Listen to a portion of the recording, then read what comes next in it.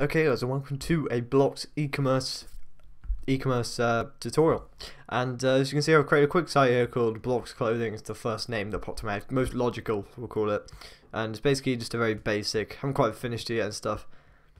Basic e-commerce template that we're releasing soon in another video. But first I want to show you how to actually get e-commerce into Blocs kind of, this works with digital products like if you want to sell a video images, music, anything that's digital. can't physical products yet, but I'm sure I'll figure out a method soon and teach you guys that. So what I'm going to do is head to Safari into a website called Gumroad. And you type in, type in Gumroad, you'll come to a thing here and you can log in.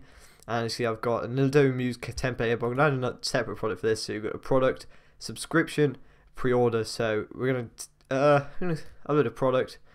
Uh, we're going to call it um, Blocs template.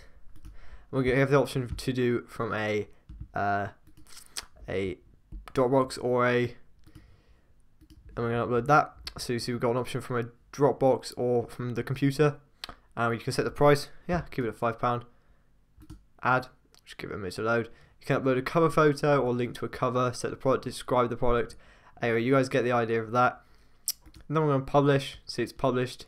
Head over to your timeline and you see you get this link here. What you want to do with this link is you want to copy the link and then you want to go back to Dropbox with the to block sorry with the link.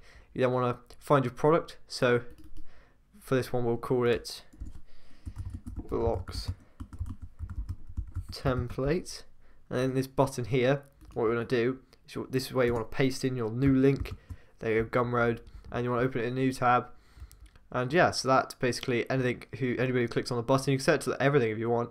So anybody who clicks on the image as well can get taken to that page, or just the text. So now I'm going to export it.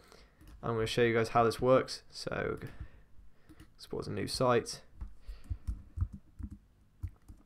Go on to oh god.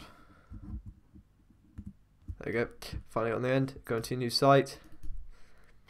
Open up the index page. Here we go.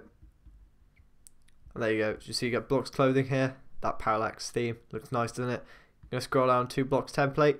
Then click on the button here. And it's then going to take me to my thing. And what will happen here is actually I'm going to quickly log out of my Gumroad account. And here goes. This is what it looks like to you guys if you or to the, the buyer and you click on like I want this and then you put in your email address, full name, credit card, put in your credit card, pay, you get sent the, the file to your email address and yeah, it's very secure. Gumroad, one of the most popular ways to sell digital goods online, and I clearly recommend it. So, if you guys, if you guys like this template, and if you guys like this uh, e-commerce digital goods tutorial, then be sure to hit the like button and subscribe if you enjoyed the content. And I'll see you guys in another tutorial. Bye bye.